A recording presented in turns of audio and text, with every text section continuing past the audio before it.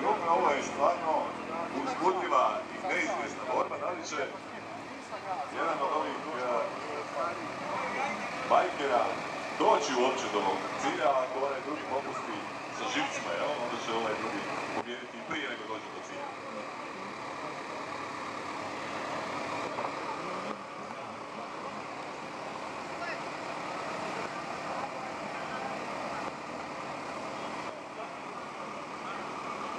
Dakle, nagradite pobjednika pljeskom, on odmah ide na startnu poziciju.